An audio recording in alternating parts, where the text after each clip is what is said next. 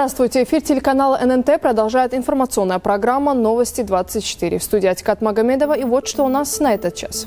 Для российских мусульман могут увеличить квоту на хадж. В 2018 году в святые земли Мекки и Медины смогут отправиться около 30 тысяч мусульман. 220-летие со дня рождения имама Дагестана и Чечни. В Панцукульском районе прошел республиканский маджлис. Безопасность на дорогах. В республике продолжаются совместные рейды ГИБДД и Муфтиата Дагестана.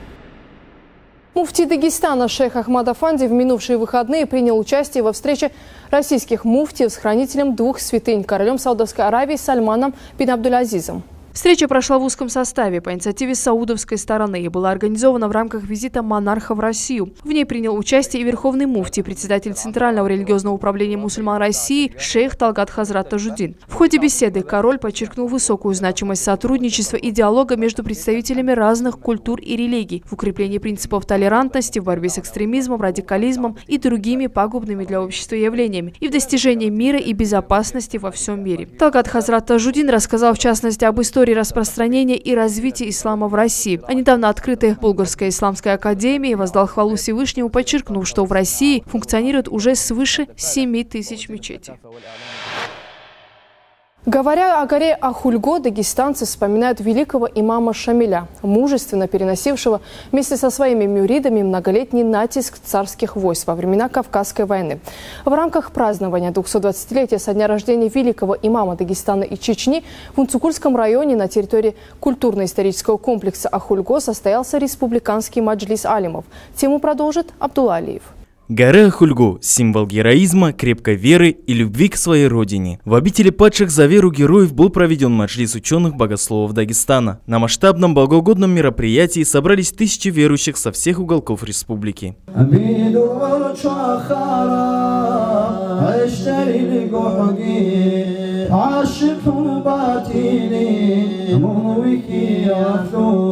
Перед собравшимися выступали имамы, политики и религиозные деятели. Они вспоминали историю жизни великого имама Шамиля, говорили о его духовном наследии. Отмечалось, что имам Шамиль был любимцем Аллаха, духовным наставником очень высокого уровня, человеком, которого Всевышний одарил ясным умом. Наши имамы, которые придерживались строго путь нашего пророка, саллаллаху с самого раннего детства они были заняты науками. Еще в 6-7-летнем возрасте имам Шамиль и его старший друг, имам, первый имам Дагестана, имам Гази Мухаммад, они обучались у деда Гази Мухаммада Исмаиля. Это был очень известный ученый того времени, и он находился в селении Каранай, Муадзином. И обучал у него первоначальные знания. Они в дальнейшем, Гази Мухаммад и Шамиль, отправились разным ученым Дагестана – где бы не слышали, что есть хороший опытный муалим, они отправлялись к ним. Полномочный представитель Муфтиата Республики Дагестан в Южном территориальном округе Махди Абидов затронул тему духовного самосовершенствования. На сегодняшний день, по мнению богослова, люди уделяют мало внимания работе над улучшением собственного нрава, и мало кто заботится о своем духовном мире. Посланник Аллаха, саллаллаху алейхи сказал, что в теле человека есть кусок мяса, когда он хороший, человек тоже становится хорошим, а когда он плохой человек, тоже становится плохим, это сердце. Поэтому, дорогие братья и дорогие сестры, э, э, контроль за сердцем, это является одной из частью нашей религии. Например, в хадисе, который Умар Аллаху передает, большой хадис, где один человек спрашивает пророка про иман, ислам, ихсан, там же посланник Аллаха отвечает, ихсан, это служит Аллаху Та'ала так, как будто ты его видишь, хотя ты его не видишь, он-то тебя видит. Исполняющий обязанности муфтия Республики Дагестан Абдулла Аджимулаев в своем выступлении отметил, что нужно испытывать уважение к духовным ценностям, которые исповедовал имам Шамиль, любить религию, стремиться к довольству Аллаха и пророка, мир ему и благословения Аллаха. Альхамдулилля, у нас внутри это есть. Любовь к нашим праведникам, любовь к нашему любимому имаму Шамилю. Есть эта любовь. Но надо чуть-чуть напомнить нам, кто такие наши благородные праведники. И держать, оставить, сохранить то, что они нам оставили. Остается одна проблема – единство. Проблема единства среди братьев и сестер. Здесь, уважаемые братья, мы должны э, подумать, а что мы делим? Зачем нам разделяться? Зачем нам по разным комнатам отделяться? Вопрос же возникает. В то время, когда Аллаху Та'ала у нас един, Завершилось мероприятие коллективной молитвой. Толпы верующих вздымали свои руки с молитвой о благополучии и процветании нашего родного края. Абдулла Алиев Джал Магомедов, Ибрагим Абдуллаев, телеканал ННТ, Ахульго, Унцикульский район. Накануне сотрудники правоохранительных органов задержали правонарушителя. Казалось бы, рядовой случай, но внимание общественности привлекло поведение сотрудников полиции, вернее, их жесткие меры. Подробнее расскажет Ума Ибрагимова. На этом видео охрана одного из чиновников Дагестана, а именно министра МВД Абдурашида Магомедова, блокирует автомобиль, проезжающий по встречной полосе. Выволакивает водителя, избивает его, а затем, усадив автомобиль, уезжает. Там же по видео видно, как они за вами гонялись с, с э, 26, и у них все было включено. Да, да, да. Там на тот момент было, я не отрицаю.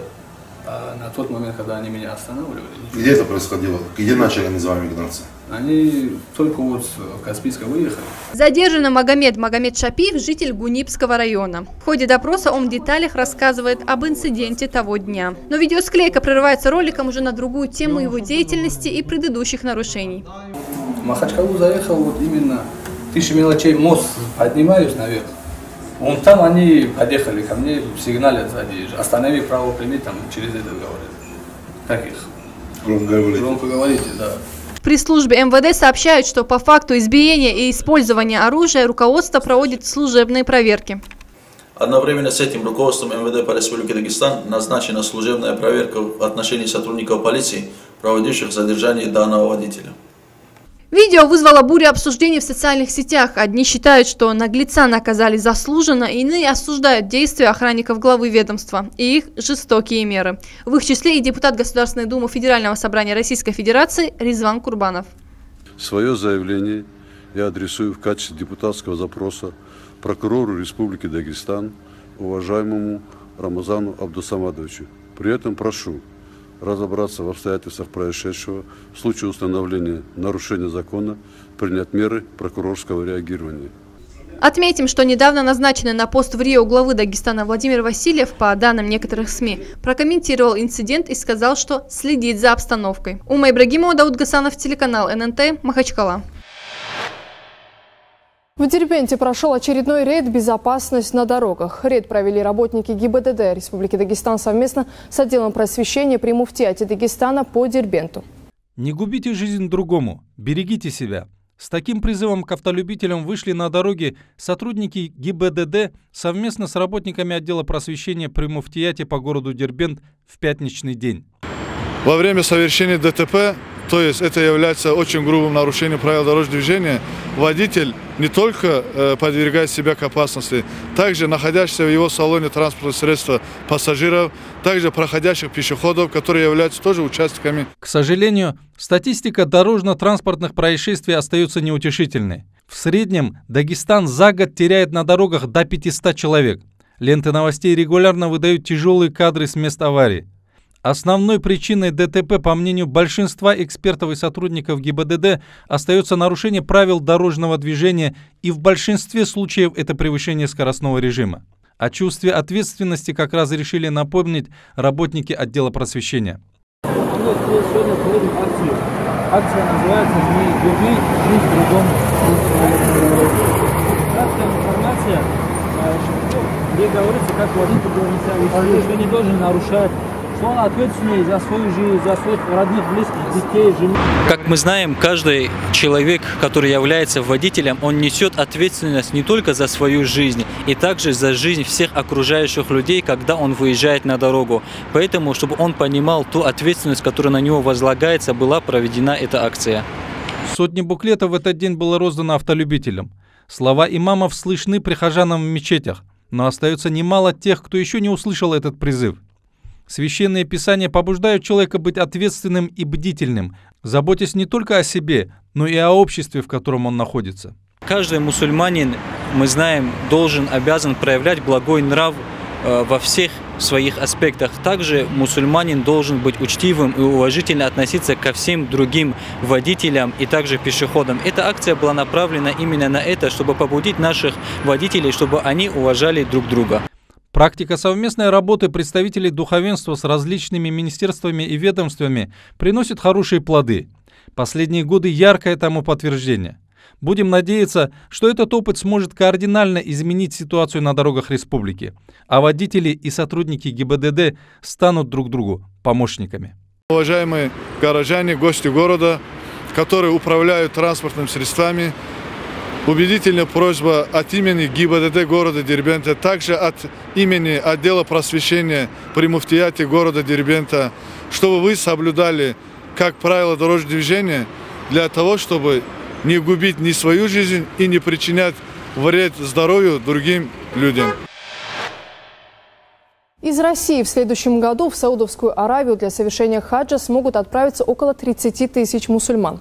Об этом сообщил министр иностранных дел Российской Федерации Сергей Лавров журналистам по итогам встречи с королем Саудовской Аравии. Также вопрос увеличения квоты был рассмотрен в ходе встречи короля Саудовской Аравии Сальмана бин Абдулязиза с исламским духовенством России. Как отметил заместитель председателя Совета муфтиев и Духовного управления мусульман России Рушан Абясов, на сегодняшний день в стране проживают более 25 миллионов мусульман. Соответственно, из расчета одно место на тысячу мусульман хадж-миссия России запрашивает минимум 25 тысяч мест. Точное количество выделенных мест по квоте на хадж 2018 станет известно во время визита российской делегации в Саудовскую Аравию для подписания договора с Министерством по делам хаджа. Ну а далее краткий обзор событий от Ларианы Шамхалаевой. 40 волонтеров-дагестанцев отправились в Сочи на 19-й Всемирный фестиваль молодежи и студентов. Добровольцы будут встречать гостей на вокзалах, в аэропорту и помогать участникам в ходе проведения основных мероприятий. Общее количество волонтеров составит 5 тысяч. В селе Гурбуки до конца года ведут в эксплуатацию новую больницу на 75 коек с поликлиникой на 100 посещений в смену. Строительные работы завершены, производится установка современного медицинского и технологического оборудования. Накануне объект осмотрел исполняющий обязанности председателя правительства Абдусамат Гамидов.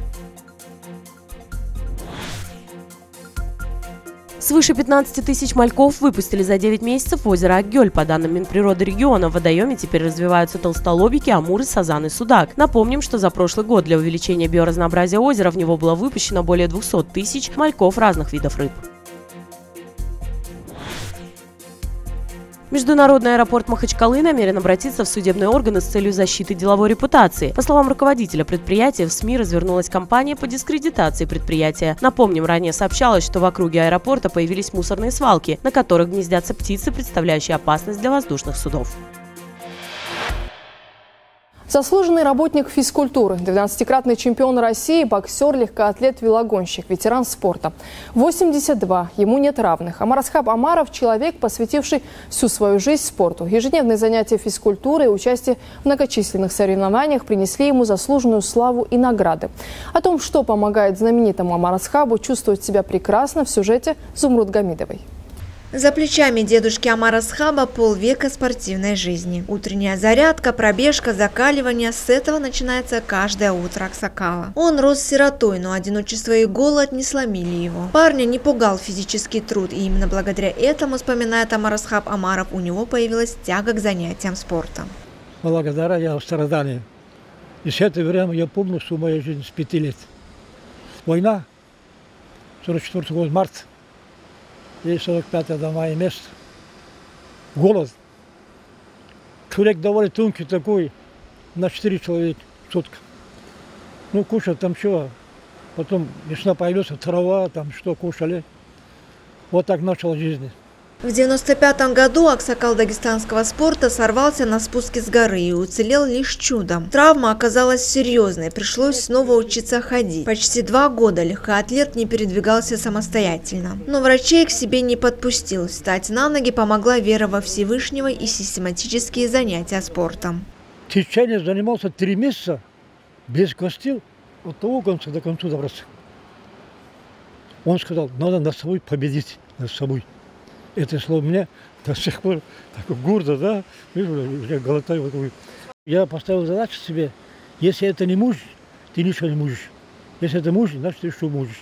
Помимо занятий спортом, намаз и пост во время месяца Рамадан помогают Амарасхабу Амарову чувствовать себя прекрасно в свои 82 года. Начиная с пятилетнего возраста он совершает молитву. Свою жизнь без веры во Всевышнего не представляет, к этому же призывает молодежь. Молитва – это регулирају се човек организма.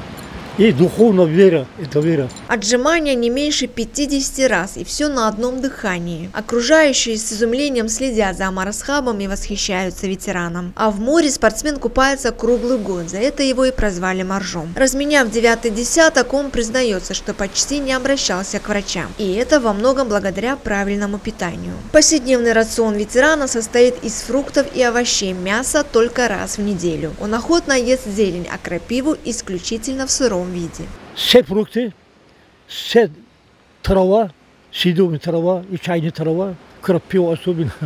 Это из лак, чеснок я кушаю, как хлеб. Вот. Все это только по норме. Когда я чувствую, что-то у меня живот есть, а нет, уже живот чувствуется, что-то есть. Останавливаю. Такой же подтянутый, стройный, как и 50 лет тому назад. Ничего не изменилось. А послужной список между тем стабильно пополняется новыми медалями и грамотами. Но не это главное. Важно то, что ветеран старается личным примером пропагандировать здоровый образ жизни. Зумруд Гамидова, Турмагомед Магомедов, телеканал ННТ, Махачкала. Это были наиболее значимые события на этот час, ну а я слово передаю нашему спортивному обозревателю Курбану Рагимову. Курбан, здравствуй. Что интересного произошло в спортивной жизни республики? Здравствуй, Атикат. Эта неделя выдалась удачной для наших спортсменов. Были яркие победы на крупных турнирах в стране. А какие именно, расскажем далее. Солидные призовые и престижный трофей Международный кубок Ахмата Кадырова по вольной борьбе состоялся в субботу в Грозном. Какими известными борцами был представлен этот турнир и кто же стал обладателем заветного кубка, узнаем в следующем материале. Ежегодный мемориал Ахмата Кадырова в этом году проводится в формате «стенка на стенку». Международный турнир собрал 8 команд. В основном это страны ближнего зарубежья, представленные сборной России и Европы. Отдельным составом выступают хозяева, борцовский клуб «Ахмат». Я надеюсь, что это будет способствовать развитию вообще нашего вида спорта. А, надо признать, что а, наши виды спорта, олимпийские виды единоборств, в частности борьба, испытывает некий застой. Россия, как основной носитель традиций этого вида спорта, обязана быть впереди всех и в плане развития этого вида спорта, в плане каких-то новаций. Я думаю, что давно пришло время в России создать хорошую мировую лигу. За зрелищем на ковре наблюдали порядка трех тысяч зрителей. Ближе к финалам арена спортхолла Колизей заполнилась до отказа. Гостями турнира стали около 20 олимпийских чемпионов по разным видам спорта. Соревнования на высоком уровне проходят, и ребята здесь всех знаю, нету проходных, все именитые, все хорошие ребята, и схватки очень насыщенные, интересные. Ну, я думаю, что такие турниры нужно почаще делать, и в Дагестане тоже нужно проводить такие турниры. А, борьба будет развиваться, и людей, люди будут все больше и больше идти, своих детей даже отправлять будут многие. Интерес для людей как шоу, можно сказать. Звезды мировой борьбы находятся как в ложе почетных гостей, так и на ковре. Призер Олимпиады в Рио Магомед Ибрагимов в составе Узбекистана провел три победных поединка. Однако это не помогло его команде выйти в финал состязания. Ахмат, это, конечно, серьезная арена. Посмотрите на зрителей. Все радужные. Ждут... Были, тебя поддерживали Меня всегда поддерживают, где бы я ни боролся, меня всегда поддерживают, потому что у меня говорят зрелищная борьба, я не знаю. Но это сильно влияет на твою борьбу? Мотивирует еще дальше? Конечно, когда люди болеют, мне больше хочется сделать красивые приемы, зрелищные приемы сделать, как-то эффектно, эффектно выиграть. По итогам предварительных встреч в финал ожидаемо пробили сборная России и клуб «Ахмат». Составы обеих команд специалисты назвали равными, но назвать явного фаворита встречи никто не рискует. Ребята достойно борются, финала достойные и будем ожидать, ну, ребята друг друга всех основном знают друг друга. Ну, спорт, э, борьба такая вещь, сегодня может один выиграет, завтра, вчера э, другой, поэтому за, будем болеть за наших ребят, за красивую борьбу. Сегодня ну, состав такой равный состав у команд, 60-70% где-то такой состав у нас ребят. Но я думаю, у нас и первые, и вторые номера, и третьи номера, они ровня друг другу. Поэтому хороший состав, и я же говорю, будет интересно наблюдать за борьбой. Национальная команда вышла вперед усилиями Артема Гибекова и Ислама Дудаева, но дальше выигрывали только хозяева. Несмотря на итоговый счет 6-2, каждая из встреч проходила в накале борьбы до последней секунды. Ребята готовились сильно. У нас два сбора было к этому турниру.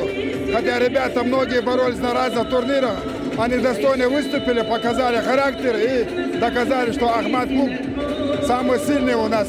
Помимо почетного кубка чемпиона вручили командный приз 90 тысяч долларов. Премию в размере 40 тысяч долларов получили серебряные призеры. Программа про спорт, включающая все подробности прошедшего турнира, выйдет в эфир телеканала ННТ в ближайшую пятницу. Гамзат Нурмагомедов, Камиль Девятов, телеканал ННТ, Грозный, Чеченская республика. Семь золотых медалей завоевали представители сборной России по смешанным единоборствам на прошедшем в Казахстане чемпионате мира. Львиную долю наград в копилку национальной команды принесли выходцы из нашей республики. О том, как встречали чемпионов в аэропорту Махачкалы, в следующем сюжете. Едва триумфаторы успели спуститься с трапа, как оказались на руках многочисленных болельщиков. Разделить радость победы с прилетевшими вечерним рейсом бойцами прибыли их родные, друзья и одноклубники. А, меня сегодня встретили братья. Честно сказать, я очень-очень-очень рад, конечно, этому. Рад их видеть здесь. Еще я хочу выразить огромную благодарность своим тренерам. Вот мои друзья, одноклубники тоже пришли сюда, меня встретили. За победой на чемпионате стоит долгий и упорный труд. Прежде чем попасть на основной турнир этого года, бойцам пришлось пройти нелегкий путь. Доказывать свое право на участие в мировом первенстве нужно было на чемпионате республики, округа и страны. Помимо этого, боец клуба «Иглс Дагестан» ведет профессиональную карьеру Fight Nights, состоящую пока из двух побед. Пока нету ничего такого. Соперника тоже не дали. После боя с Сидоренко мне не сказали еще соперника. Думаю, месяц надо отдохнуть по-любому. Я за эти 8, за эти 7-8 месяцев уже провел два боя профессиональных и четыре турнира любительских. Надо отсюда отдохнуть. Чемпионат мира по версии Всемирной ассоциации ММА специалисты считают самым престижным в любительском спорте. Сборная России на этих соревнованиях из года в год занимает первое общекомандное место. Выходец из Гумбетовского района Абдумуталиб Гайрбеков чемпион в полулегком весе. В финале подопечному Расула Магомедалиева противостоял боец из Украины Денис Муцнек. В финале был очень опытный соперник, 31 лет, чемпион Казахстана по греко-римской борьбе все время вязал, вязал меня. Ну, у меня был фан на бой был, дать ему чуть поработать, но он как бы не дать себя перевести. Он прижимал меня все три минуты первого раунда, он забрал, а вторую две минуты я его перевел и забрал. Также во втором раунде. Ну, тактически разобрал его. Аккуратно все. И, ну, так как он местный боец, мы ожидали, что могли дать экстра раунд. Ну, судьи оценили правильно ход встречи и дали мне победу турнире принимали участие спортсмены из 30 зарубежных стран. Воспитанник столичного клуба «Горец» Гажимурат Заваев провел в Казахстане 4 успешных боя. В финале он был сильнее спортсмена из Белоруссии. Я чуть болтанул, там попал пару ударов и потом уже, когда повалил, и на добивание уже на спину зашел и задушил. Ну, я выиграл чемпионат мира и, конечно, хотел бы там в какой-нибудь хорошей организации подраться. Кто что предложит, посмотрим. Профессионала, да. Всего дагестанцы завоевали на турнире 6 золотых медалей из 7 возможных. Помимо прибывших на родину спортсменов, чемпионские пояса выиграли Али Абдулхаликов, Шамиль Мусаев и Магомед Шахрудинов. Гамзат Нурмагомедов, Гелач Курбаналиев, телеканал ННТ, Махачкала. И еще одна радостная новость из мира смешанных единоборств. Махачкалинец Тагир Уламбеков – новый обладатель чемпионского пояса Fight Nights в наилегчайшем весе. Минувшей ночью в Краснодаре боец клуба Eagles MMA одержал победу в титульном поединке над Вартаном Асатряном. Для местного спортсмена этот бой стал первой защитой титула в карьере. Асатрян начал его с первых минут активнее. Однако большая часть раунда прошла в партере, где доминировал Уламбеков, сумевший нанести чемпиону рассечение. Второй отрезок прошел в равной позиционной борьбе с небольшим преимуществом претендента. Третий раунд поединка также прошел активно, соперники обменивались ударами. На бескомпромиссное противостояние, как обещали соперники. Это настоящая война, настоящий чемпионский поединок. Инициатива переходила от одного бойца к другому, а развязка наступила в четвертом отрезке. Уламбеков достаточно быстро перевел бой в партер, где провел удушающий прием, на котором поединок и закончился. Выигрывает позицию Тагир Уламбеков. Ну, второй и третий раунды были близкими, и совершенно еще не ясно, кому отдали судьи. Ох, и сейчас удушающий! Есть гильотина! Заблокировал, чемпион сдается, Вартанов отряд! И есть новый чемпион! Nights в наилегчайшей весовой категории! Боец клуба Eagles MMA завоевал пояс чемпиона Fight Nights Global в наилегчайшем весе. Кроме того, в этот вечер очередные победы в организации Fight Nights одержали дагестанцы Али Багаутинов, Денислам Камавов и Амар Нурмагомедов. Лучшими дагестанские спортсмены стали в эти выходные и в боксе. Четыре выходца из нашей республики поднялись на высшую ступень пьедестала чемпионата России. Соревнования больше недели проходили в Грозном и завершились вчера вечером. 26-й чемпионат России собрал 320 лучших боксеров со всей страны. Медали были разыграны в 10 весовых категориях. Из дагестанцев триумфаторами состязаний стали представляющие Московскую область Раджаб Раджабов, а также Садам Магомедов и Магомед Амаров. А в копилку Ханты-Мансийского автономного округа золото в весе весе до 60 килограммов принес Альберт Батыргазиев, которого организаторы признали лучшим боксером турнира. Это были все наиболее значимые спортивные события этой недели. Спасибо, Курбан. И к концу выпуска курс валют на завтра. Доллар остановился на отметке 58 рублей 31 копейка, евро 68 рублей 38 копеек. Еще больше информации вы можете найти на нашем сайте nttv.ru. Не переключайтесь.